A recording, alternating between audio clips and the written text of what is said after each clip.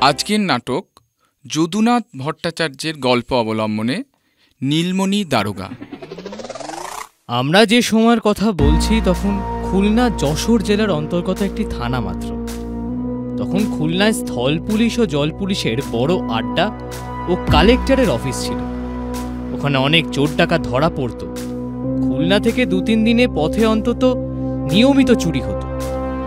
পুলিশের বড় কর্তা ক্যাপ্টেন হক একদিন স্টিমারে করে বাদার অনেক জায়গায় জল পুলিশের আড্ডায় গিয়ে খুলনার কাছে নদী গর্ভে একটি সন্দেহজনক মৃতদেহ দেখেন।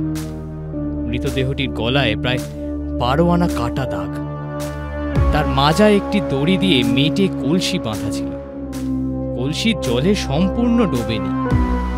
তিনি একটি মেটে কলসি এক গাছি দড়ি, একখানি পরিদেহ বস্ত্র একখানি গামছা ও একখানি লম্বা পইতে পেলেন মৃতদেহ থেকে। পুলিশের বড় কর্তা কাপ্তেন হক খুলনায় এসেছেন। দলে দলে লোক এসেছে কর্মপ্রার্থী হতে। আমাদের নীলমণিও। আমি দারোগাগিরির কাজের প্রার্থী। তুমি কি লেখাপড়া জানে? আমি বাংলা, উর্দু, পার্সি ও অল্প অল্প ইংরাজি জানি। তুমি খুন আস্কারা করিতে জানে? আগে তা পারি। মনে করো আমি জলে একটি খুন পাইয়াছে। খুনের সঙ্গে আর পাইয়াছে একটি কলসি। একখানি কাপড় গামছা ও পইটা। এটে তুমি খুন আস্কারা করিতে পারে? মৃত ব্যক্তির মাপ ও ছবি রাখেননি? হ্যাঁ তাও পাবে। তবে তো খুন আস্কারা করা খুবই সোজা। সবই তো আছে। অনন্তর কাপ্তেন হক দরজা বন্ধ করে দিলেন। এবং নীলমণিকে তাঁবুর মধ্যে নিয়ে পরামর্শ করতে বসলেন। তুমি এই খুন আস্কারা করিতে চাহিলে কি কি চাহে? এই খুন আস্কারা করতে চাই তার নকশা মাপ ওই কলসি পইতা কাপড় ও গামছা চারজন কনস্টেবল তার মধ্যে তিনজন গান ও খোল করতালে বিশেষ অভিজ্ঞ হওয়া আবশ্যক আর একটি নৌকা ও কিছু টাকা। আরও চাই সকল থানার দারোগার ওপর এই মর্মের এক পরোয়ানা যে আমার যখন যত কনস্টেবল দারোগা ও চৌকিদারের প্রয়োজন হবে তখনই তা সব দিবে। ঠিক আছে কাল এগারোটার সময় তুমি এসব পাবে। এসব পেলে তুমি খুন আস্কারা করিতে পারবে? আগে নিশ্চয়ই পারব। পরদিন বেলা এগারোটার সময় নীলমণি কাপ্তেন হকের সঙ্গে দেখা করলেন। চারজন গায়ক কনস্টেবল, একখানি দুই মাল্লা নৌকা, পঁচিশটি টাকা ও মৃত ব্যক্তির সঙ্গে যে যে দ্রব্য ছিল তা ও মৃত ব্যক্তির একখানি ছবি ও মাপ পেলেন। নৌকায় আরও তিনটি দাঁড় বসালেন। একটি খোল, দুজোড়া করতাল, পাঁচটি বাউল বৈরাগীর পোশাক ও কৃত্রিম দাঁড়ি গোফ প্রস্তুত করলেন। মাঝিদের বুঝিয়ে দিলেন যে তারা বাউল বৈরাগী। তারা পূর্ব দেশে ভিক্ষা করতে যাবেন। পরদিন সকালে নীলমণি পূর্ব উত্তরাভিমুখে নৌকা চালিয়ে দিলেন। নীলমণির নাম হল জগদানন্দ গোস্বামী ও চারজন লোকের নাম হল যথাক্রমে অতুলানন্দ বাবাজি, প্রেমানন্দ বাবাজি, পুলাকানন্দ বাবাজি ও নিত্যানন্দ বাবাজি। সকলেই গৈরিক কৌপিন পরিধান করল ও গৈরিক আলখাল্লায় শরীর আচ্ছাদিত করল। লহ গৌরাঙ্গ। লহ গৌরাঙ্গে নাম রে।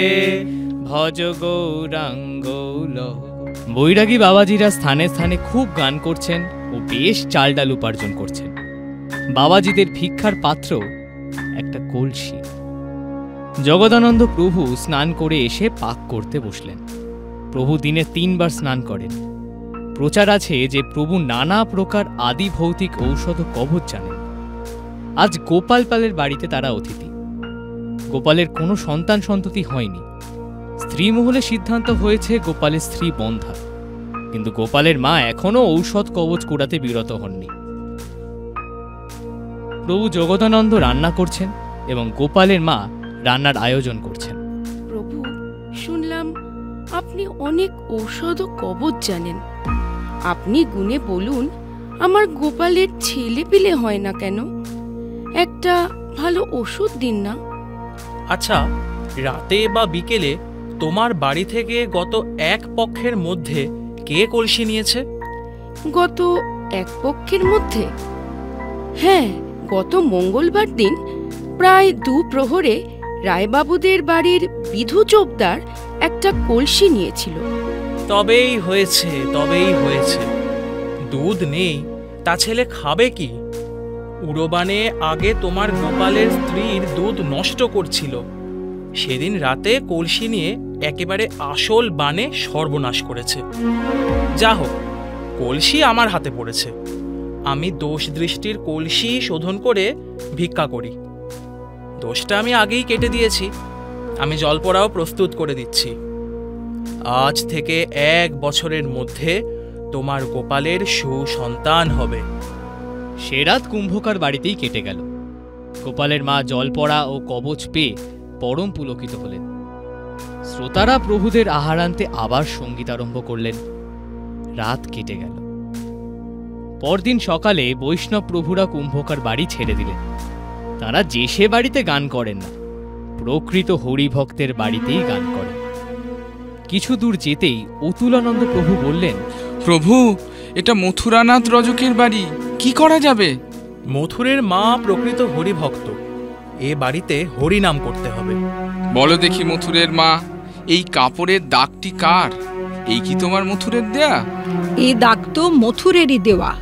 এ দাগ মথুর দেয় আমি দিই ও আমার এক ছোট মেয়েও দেয়। এই দাগ রায়বাবুদের বাড়ির গোমস্তা রমাকান্ত চক্রবর্তীর কাপড়ে দেওয়া হয়। কিন্তু সেই ঠাকুর আজ সাত আট দিন নিরুদ্দেশ। সেই সঙ্গে রামটহল পাড়ে কেউ পাওয়া যাচ্ছে না। চুপ করো চুপ করো মা। বাজে কথায় কাজ নেই। কোন দুষ্ট লোক তোমার মেয়ের ছেলে কি ছেলের চিহ্নমাত্র নষ্ট করেছিল? এখন জল পড়া ও কবচ নাও। আমরা আর দেরি করতে পারব না এখনই উঠবো। চৈত্র মাস বেলা প্রায় এক প্রহর। বরিশাল জেলার পশ্চিম প্রান্তে এক থানার দারোগাবাবু এজলাসে বসেছেন। থানা লোকে পূর্ণ। এমন সময় এক নতুন দারোগা থানায় প্রবেশ করলেন। নতুন দারোগার সঙ্গে মাত্র চারজন কনস্টেবল। নতুন দারোগা অন্যান্য লোকেদের ঘর থেকে বের করে দিলেন। তিনি থানার দারোগাকে এক পরোয়ানা দেখালেন।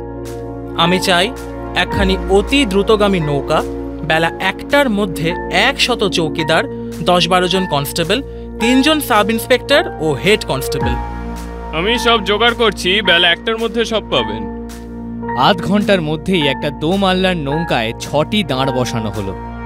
সেই নৌকায় উঠে নবাগত দারোগাবাবু তার সঙ্গের এক কনস্টেবলের কাছে এই মর্মের একটি পত্র লিখলেন।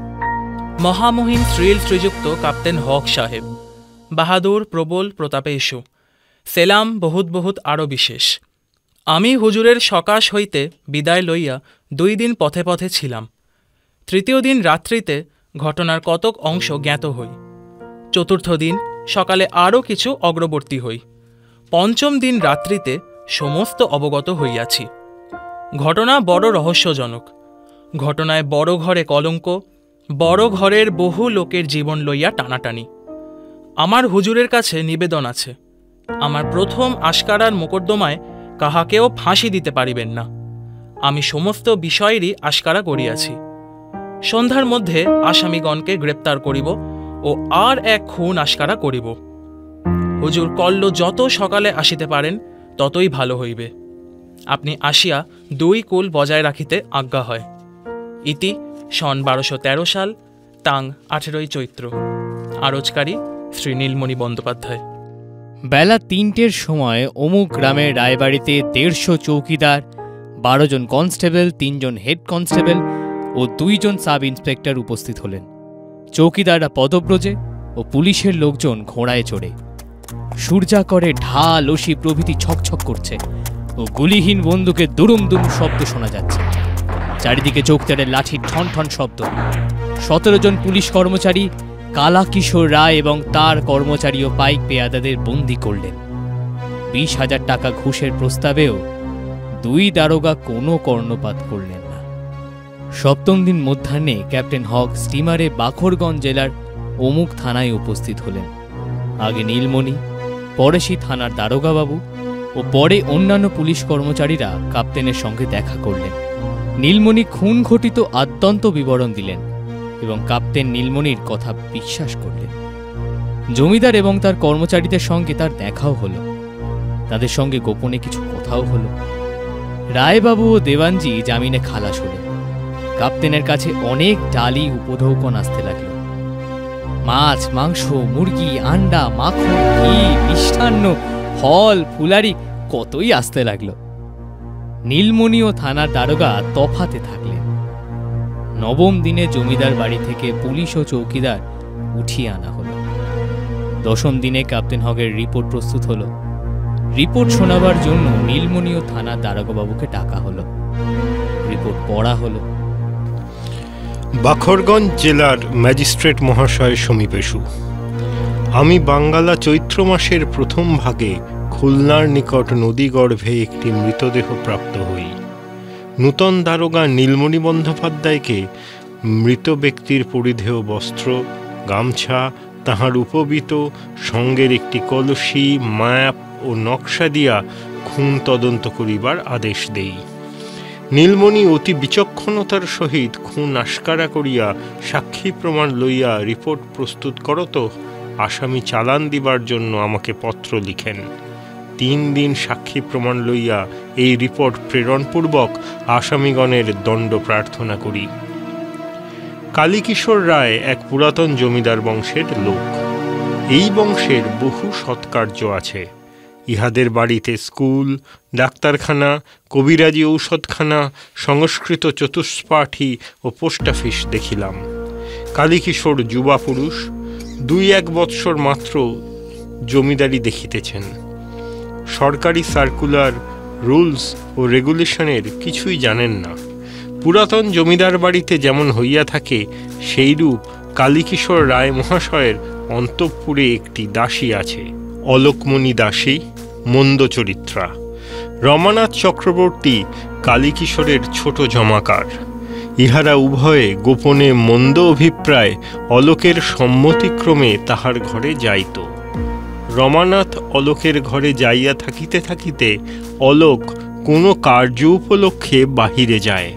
এই সময় রামটহল এক সুধার তরবারি লইয়া অলোকের ঘরে প্রবেশ করে।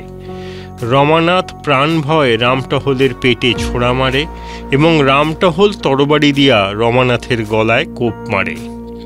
ওই আঘাতে রাত্রি এগারোটার সময় রমানাথের মৃত্যু হয় এবং রাত্রি চারটার সময় রামটহলও ইহলোক পরিত্যাগ করে। জমিদার কালীকিশোর রায়ের অন্তঃপুরে এই খুন হওয়ায় তাহার কোনো স্বজন মহিলার উপর অন্যায়রূপে কলঙ্ক আরোপিত হইবে, এই আশঙ্কায় তিনি কর্মচারী বর্গের সহিত যোগে প্রথম খুন জলে ফেলিয়া দেন ও দ্বিতীয় খুন মাটিতে পুঁটিয়া রাখেন। জমিদার কালীকিশোর রায় তাহার দেওয়ান ভবদেব চক্রবর্তী পেশকার নীলকণ্ঠ মুখোপাধ্যায় জমানবিশ রাজমোহন ঘোষ, সুখরনবিশ হরিমোহন দে, বিধু চোপদার, গজপতি সিং, কাজল বিশ্বাস ও আইদুল করিম খাঁকে খুন গোপন করার অপরাধে চালান দিলাম। আমি, অলোকমণি দাসী, মোহন পাঁড়ে, প্রভৃতি জমিদারের চাকর ও চাকরানীদের ও স্কুল মাস্টার শ্রীনাথ রায়, দেবনাথ রামমুখুটি, সূর্যকুমার আচার্য কবিরাজ গদাধর সেন, পণ্ডিত জগমোহন বিদ্যারত্ন, পোস্টমাস্টার হরকুমার ঘোষ ও গ্রামের বিশিষ্ট ভদ্রলোক নিশিকান্ত গঙ্গোপাধ্যায়, মধুসূদন মুখোপাধ্যায়, শ্যামসুন্দর চট্টোপাধ্যায় ও ভুবনমোহন রায়ের জবানবন্দি লইয়াছি ও তাহাদের নিকট নির্দিষ্ট তারিখে কাছারিতে হাজির হইবার নিমিত্ত পঞ্চাশ টাকা করিয়া মুচলেকা লইয়াছি। এ মোকদ্দমার হত্যাকারী ও হত ব্যক্তি উভয়ই মরিয়াছে। কেবল খুন গোপনকারীগণ মূল আসামি।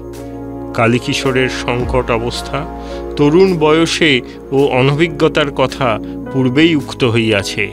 আগামী আটই এপ্রিল এই মোকদ্দমার বিচারের দিন স্থির হইয়াছে। বেশ হয়েছে।